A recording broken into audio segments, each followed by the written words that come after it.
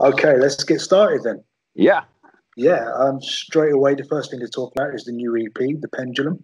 Yeah. Um, I was just listening to the title track before we did this uh, video call. It's a really, really cool song. It's, I think with Candlemass, you never get um, any nasty surprises. It's always going to be really good doom metal, and Yeah. that's a, that's a good thing. Um, the song, The Pendulum, was that kind of left over from the writing sessions? Yeah, I, actually, I didn't know about that song till pretty lately before we recorded the album. Uh, so I didn't know about the the leftovers uh, when when I recorded the Door to Doom actually. Mm. So, and uh, I was surprised when I heard them. I think they're great songs, but um, he, he Leif wasn't. Uh, what do you say? Uh, satisfied about the way they were at that time Right. and he wanted to do some small changes and try out my voice and things like that. So, and it turned out well. I think it's a Yeah, so- song full of energy, and I, I really love the song. yeah. I mean, and not to um, brown those too much, but your voice is incredible still, and um, you know, I, I was very surprised to see that um, uh, in between Epicus, Doomicus Metallicus, and The Door to Doom, you Yeah, hadn't been on that many recordings. no, I, I- I I've done a couple, but not that many. Yeah. you're right. I know you did the Impulsia project, but uh, yeah, yeah, and I, I've done a couple of other things too. Been singing uh, as a guest artist on some albums and things like that. But uh, yeah, I, I, I've been actually been into music on a regular basis, but uh, uh, at home I have a small studio at home, so I, I've been into music all the way these years, but uh, uh, not not on uh, that very big stages. No, which is a shame because, like I say, your voice is still so powerful. And I got to see it for myself last year. Last year was the first time I saw Candlemass. I saw you at Graspop. okay, I was awesome, blown thank away. you. I was like, "This is so good. This is so good. Where's Oh, he you- been?" okay, thank you for that. Oh, you're good to hear. Good to hear that. Thank you very much. Oh, you're very welcome. Was, uh, um, I, I actually do. You know, I'm doing the old Messiah songs, uh, and Mhm. I I really do like the songs. They're awesome Yeah. songs. Uh, but you know, I have to push myself, and I I, I feel myself sometimes I sound a bit, what do you say, raspy, Mm. uh, or, or that. But uh, it works anyway. it does, but Yeah. it's it's a it's a brave challenge because obviously yourself and Messiah have different vocal techniques. Yeah, yeah, he's a more high pitched singer than I am. So Yeah. and, and he he can sing a lot faster than I used to do. I- Right. I, I call myself a slow throat. uh, that that's um, I think uh, uh, yeah. I, I am pretty slow. I, I have a problem sometimes singing too fast, but uh, I'm trying and trying to do my very best, and I, I think it works. But uh, I know, I know, uh, I think myself that uh, sometimes you know I, it distort a bit of distortion, but that's okay in this business. Yeah. I have to Plus- push myself. Plus, with uh, Candlemass being a doom metal band, it works fine. If it was uh, thrash metal or something like that, maybe not so much. But No, yeah. I think it adds to the atmosphere a bit. Mm. But um, what's very interesting to me was finding out that The Door to Doom is actually your first album as a full time member of Candlemass. Yeah, I didn't actually, that the first one was you were a session vocalist, basically. yeah, yeah. I don't know if you you know the story. I I had my own uh, band at that time, and we were Uh, pretty suc successful.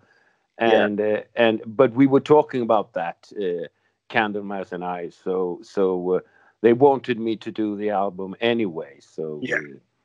uh, I, I, I say I, said- I told them that. Uh, I, I'm happy to help you out if you want me to. Uh, I love to do it, but but but I, I have to be honest to myself. I have my own band right now, and it, it's we're doing well, and uh, they accepted it. Yeah. So we talked Was- about it, and that's the way we did it. Was that Jonah Quizz, the band you were doing at the time? Yeah, yeah, it was. Yeah, we were actually about just about to have a, you know, to to have a record contract these days is not the same that it was back in the 80s. I don't No. know if you know the difference. It was pretty big at that time. Yeah. You know, there were funny guys telling you, "Oh, I can be your manager and we'll get a record contract," and then you had. In the end, you had to pay him money or pay Yeah. money to get the contract. But this was a real contract. I think it was it was called Elektra, the record company. okay. Yeah, but unfortunately, their Swedish part was actually shut down exactly in the same period when we were about to sign the contract. So he Oh. called us up, the guy, and uh, he almost cried and said, I'm sorry, guys, there's nothing I can do. They're shutting down the Swedish part of the company. So it, it ended bad, but you Yeah. know, that's the way it is. But Such music is still uh, lives on. You shouldn't Yeah. give up. Um, I forgot what I was going to say there. um, you nearly rejoined the band at previous times, didn't you? I believe you auditioned after Messiah left first time. Yeah, it's, uh, as I remember it, it, it wasn't a, an audition. They they called me up. They were looking for a new singer. Mhm. Uh, asked me if I, if I could come over and do a couple of demos. Yeah. So that was uh, uh, how it was. Oh, Uh, okay. uh, I, I don't know if someone thought anything else, uh, b- but that's. Uh, and I said, sure, guys, I'm coming over and do a couple of demos. So I, I was involved in the thing at that time too, but uh, uh, it, it that's the way it was. okay. Can you come over and help us out with a couple of demos? We're looking for a new singer, and I think in the end they found Thomas Wikström. Yeah. Yeah. Yeah. And But, I uh, know Thomas too, and he's a great guy. Yeah. But um, obviously, over the years as well, you've joined Candlemass on stage again. Yeah.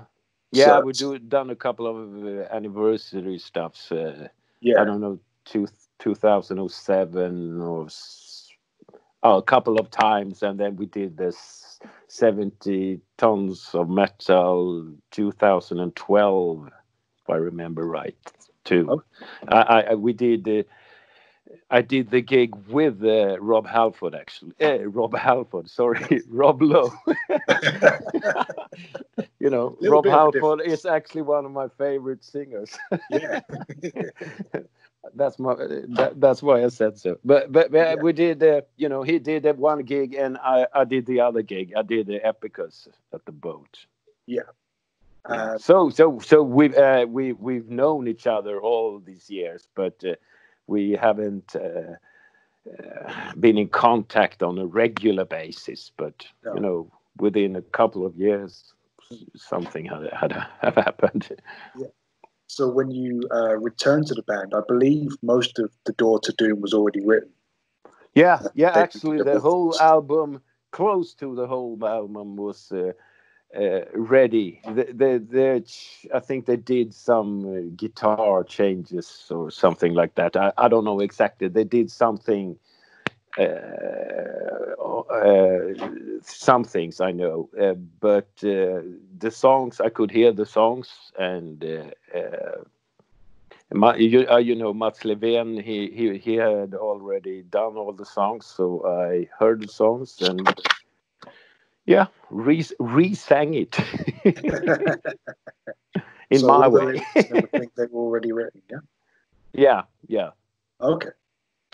Um, including the pendulum, or was that something you got to No, work on? uh, uh, no, uh, I think that actually I, I I I'm not that involved when they're doing the guitars and things like that. So I don't know if uh, the pendulum was uh, complete at that time, but I know that the song existed, uh, did exist at that time.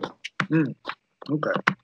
I don't know seems... if there, there was an, another version than the one uh, I did, but the, the song was written. I know that. And when you were um, approached to join the band and you got to hear the Door to Doom, could you tell that this was going to be a really kind of special album? And I'm not sure if by that point Tony Iommi had already recorded his guest solo. Yeah, yeah, yeah that's right. Yeah, yeah.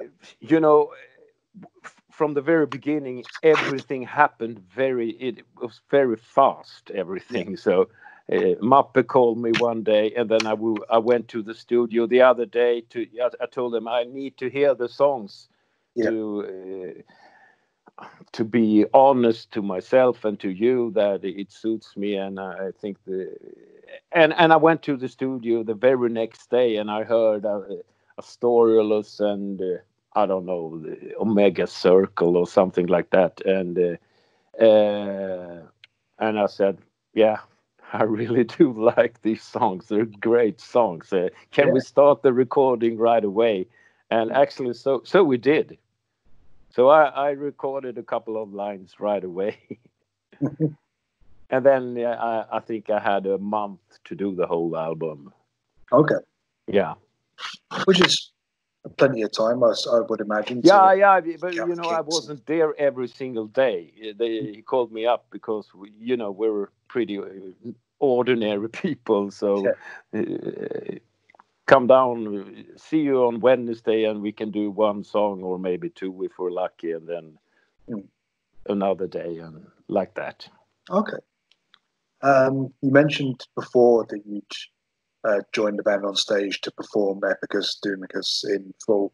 Um, that's something that I think was supposed to happen again last weekend, but it's been moved to August now. No, yeah, yeah, it was, uh, it, yeah, yeah, yeah, yeah. You're talking about the gigs here in Stockholm, right? Yeah, yeah, yeah, yeah. We were we were supposed to do the Epicus uh, one night, and of course a couple of other songs too, and then the night nightfall the next day. Yeah, yeah, yeah. Um, so, how badly have um, the Candlemass plans been affected by the uh, COVID 19? Yeah.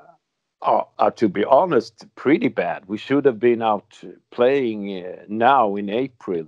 Uh, yeah. We we can we canceled the USA, and the that, those gigs are put forward a whole a whole year.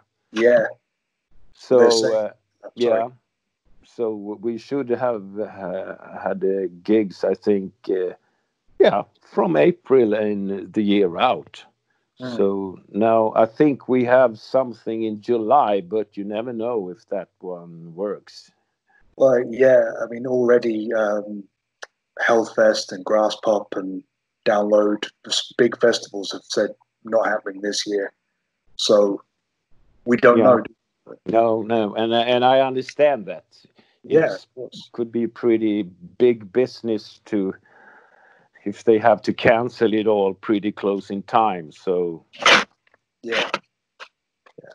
Well, I was gonna uh, finish up by asking you how you're spending this downtime, but I found out beforehand that you don't have downtime. You're still working, poor thing. Yeah, yeah, yeah. I'm working full time every single, not every single day, but uh, yeah. I'm free, of course, free in the weekends. But uh, and then you know, I have a big family and friends, so uh, uh yeah, I'm pretty. I, I, I, I have things to do. but I, I, I, don't like it. I would rather have been out playing, of course. And uh, of course, yeah. but but you know that's the way it is, and it's the same for everyone. So, yeah. but of course. But uh, Johan, thank you very much for taking the time to speak to me today, especially so soon after you've got home from work. I really no, do appreciate no it. No problems, no problems. You're all you're so polite. Uh, all of you call us here, so that's it's not a problem. Uh, I'm happy to. Yeah. Thank you very much for calling me, Oliver. No problem, Johan. Look after yourself. Yeah, you too. Bye now.